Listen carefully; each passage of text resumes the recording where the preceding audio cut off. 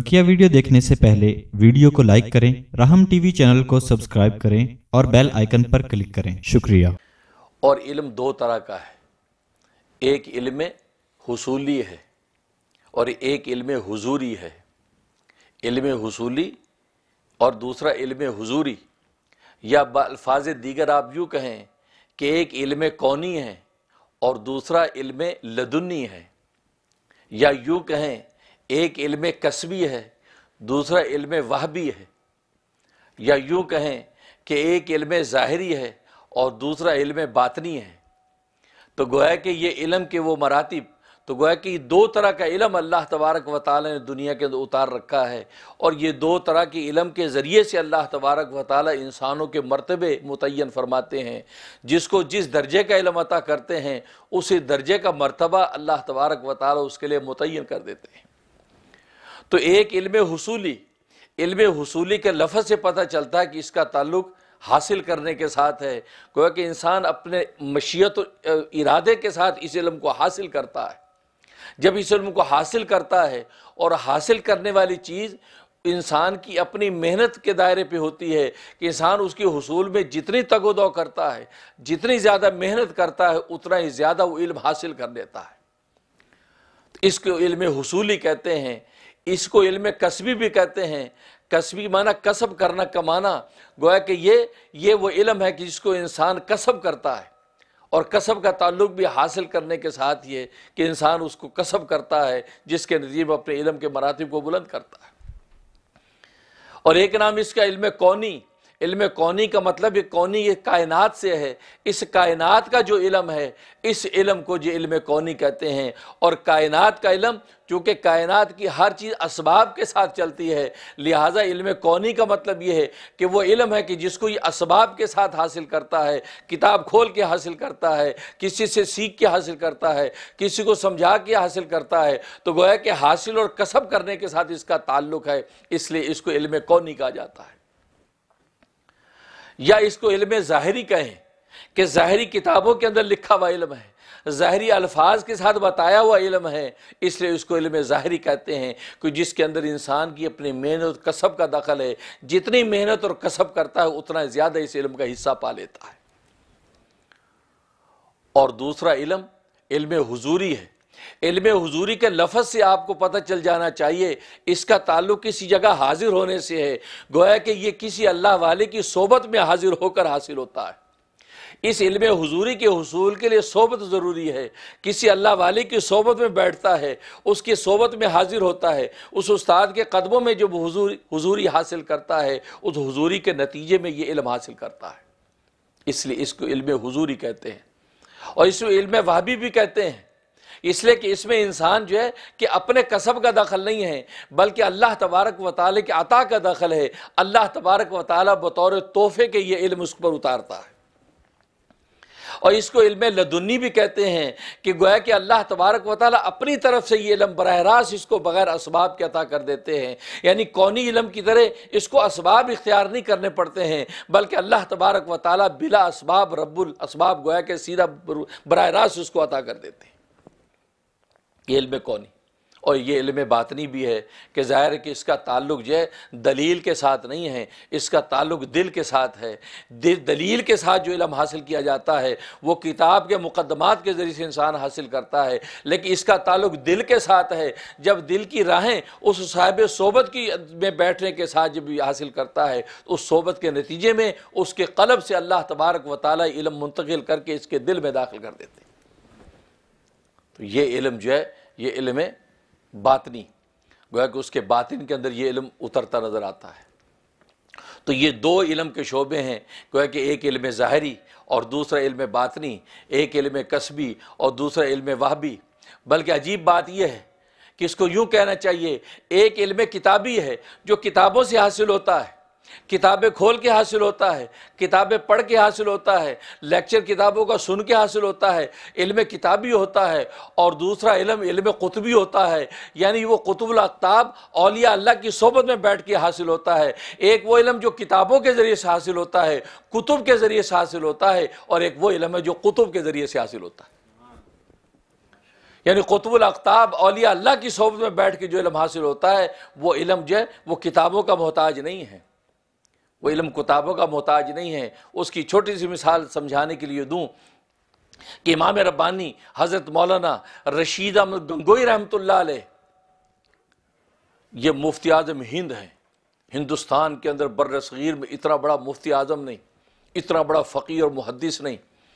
دارالعلوم دیوبند کے بڑے بڑے اکابر کا استاد مولانا رشید احمد گنگوئی رحمۃ اللہ علیہ، اسی زمانے میں حاجی امداد اللہ مہاجر مکی شیخ عرب والعجم ایک اللہ کا ولی، وہ بھی ہے۔ تو حضرت گنگوئی رحمۃ اللہ علیہ اس ولی کی صحبت میں جانے لگ گئے۔ ان کے پاس قصب فیض کرنے لگ گئے۔ تو کسی نے کہا کہ حضرت، آپ اتنے بڑے امام ربانی ہیں، آپ کے پائے کا کوئی عالم نہیں ہے، اور آپ یہ یہ صوفی کی صحبت میں کیا کرنے جاتے ہیں؟ یہ صوفی آدمی، یہ کون سا اتنے بڑے اونچے درجے کا عالم ہے؟ آپ اس کی صحبت میں کیا کرنے جاتے ہیں؟ آپ کو اللہ تبارک و تعالی نے علم و فا علم و معرفت کی جو منزلیں عطا کر رکھی ہیں، وہ تو اس کی تو کوئی نظیر نہیں ہے۔ اس لیے بعض علماء نے کہا ہے کہ حضرت گنگوئی رحمۃ اللہ علیہ کو جو فقہ اور فقاہت کا مقام حاصل تھا، وہ علامہ شامی رحمۃ اللہ علیہ سے کم نہیں تھا۔ علامہ شامی، جس کا فتح شامی دیکھے بغیر مفتی آج فتویٰ نہیں دے سکتا۔ کہا کہ اتنا بڑا علامہ شامی ابن عابدین تو علامہ ابن عابدین شامی کے درجے کی فقاہت اللہ تبارک و تعالی نے حضرت گنگوئی کو عطا کر رکھی تھی۔ تو اتنا بڑا فقی جاتا ہے ایک صوفی کے پاس، ایک اللہ والے کی جو وہ، جو صحبتوں میں جاتا ہے۔ تو کہا کہ حضرت، آپ کو جانے کی کیا ضرورت ہے وہاں؟ اس پر عجیب جواب دیا۔ یہ ہے وہ جواب جس سے آپ کو پتہ چلے گا کہ یہ علم حضوری کیا ہے اور علم حصولی کیا ہے، علم کتب کیا اور علم قطب کیا ہے۔ کتابوں سے علم حاصل جو ہوتا وہ کیا ہے اور کتبوں کی صحبتوں سے جو حاصل ہوتا وہ علم کیا ہے حضرت گنگوئی رحمۃ اللہ علیہ نے فرمایا کہ اصل میں جن جن کے علوم کی جن علوم کی فہرست میں نے مدرسے میں رہ کے کتابوں میں پڑھ کے وہ فہرست یاد کی تھی، جن علوم کی فہرست میں نے کتابوں میں پڑھ کے یاد کی تھی، وہ اس کی وہ وہ اس علوم کی مٹھائیاں حاجی صاحب کے پاس جا کر کھانے کو ملتی ہیں۔ تو گویا کہ جن مٹھائیوں کے فہرست مدرسے میں میں نے یاد کی تھی اور میں اس کی فہرست کی حقیقت میں مٹھائیاں مجھے حاجی صاحب کے پاس ملتی ہیں۔ اللہ اکبر۔ تو دیکھو مٹھائی کی فہرست یاد کر لینے سے مٹھائی کا مزہ نہیں آتا۔ مٹھائی کھانے سے مٹھائی کا مزہ آتا ہے۔ اگر آپ کے منہ پہ گلاب جامن رکھ دیں آپ کو گلاب جامن کا وہ لطف آئے گا کہ آپ اس کو بیان بھی نہیں کر سکتے اس لطف کو۔ لیکن فہرست آپ کی پوری یاد کر لیں مٹھائیوں کی۔ تو ٹھیک ہے، بہت بڑا ٹیلنٹ ہے کہ آپ کو کتاب، فہرست مٹھائیوں کی یاد ہے، لیکن مزہ تو وہاں ہے کہ جہاں جو ہے وہ بغیر بغیر آپ کو کچھ یاد نہیں ہے، لیکن مٹھائی آپ کو کھلا دی، وہ لطف آیا کہ جو یاد کرنے والے کو لطف نہیں آیا؟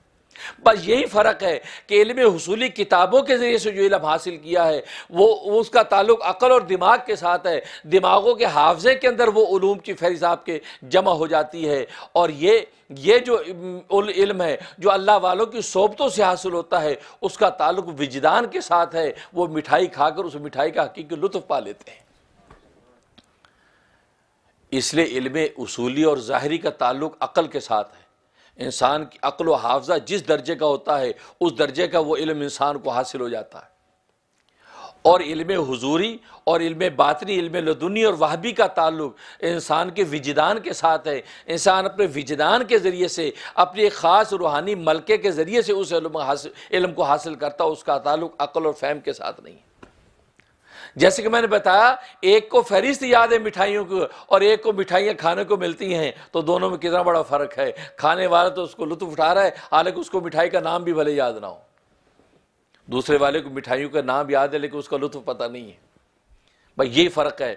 تو علم حضوری اور علم حصولی، یہ دو طرح کے علوم اللہ تبارک و تعالی نے دنیا میں نازل کر رکھے ہیں۔ اور پھر علم حصولی کے لیے میں نے بتایا اس کا تعلق عقل کے ساتھ ہے اور یہ علم حضوری کا تعلق انسان کے وجدان کے ساتھ ہے۔ انسان کا وجدان جتنا پاکیزہ ہوتا ہے، وجدان کا آئینہ جتنا مصفر مزکہ ہوتا ہے، اتنا زیادہ اس علم کو حاصل کرتا ہے۔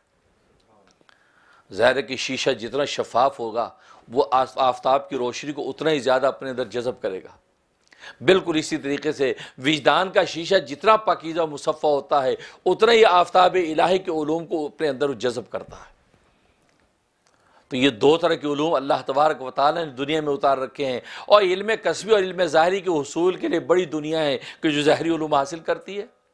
اور دوسرا علم جو علم حضوری اور علم لدنی ہے، اس کا تعلق میں نے بتایا، صحبتوں کے ساتھ ہے۔ نبیوں کا زمانہ پایا تو نبی کی صحبتوں میں بیٹھ کر اس علم کو حاصل کیا جاتا ہے۔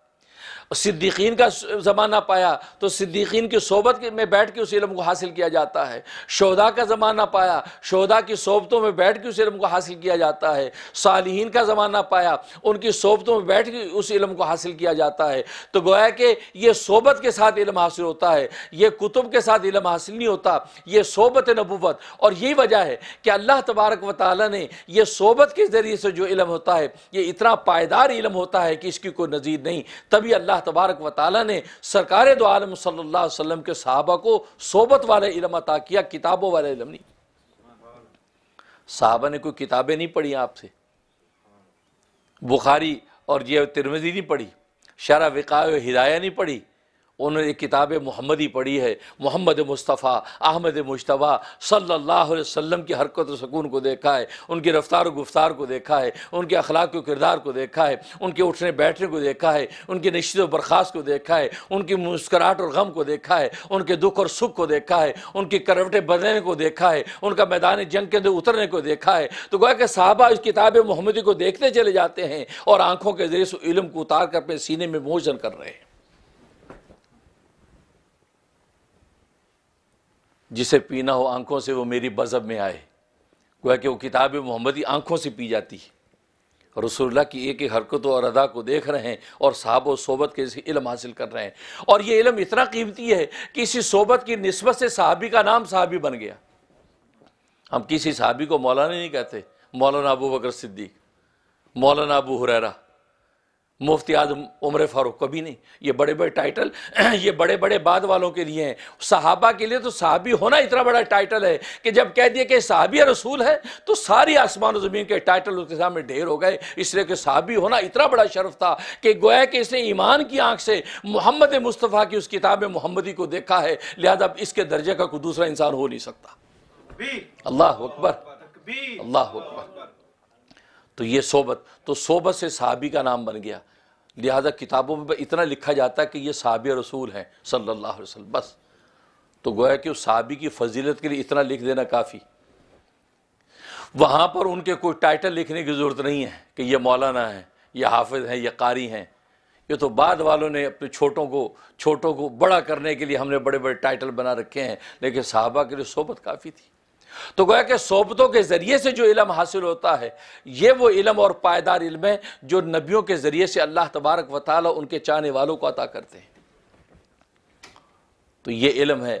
تو علم علم گویا کہ یہ مدار ہے فضیلت کا انسان کی اور علم کے میں نے بتایا دو شعبے، ایک علم ظاہری اور ایک علم باطنی ہے۔ علم ظاہری کا تعلق انسان کی عقل کے ساتھ ہے اور علم باطنی کا تعلق انسان کے وجدان کے ساتھ ہے۔ انسان کا وجدان جتنا تیز ہوگا، جتنے لطافت اس کے باطن کے اندر ہوگی، اتنا ہی زیادہ اللہ تبارک و تعالی وجدانی علم اس کو عطا کر دیتے ہیں۔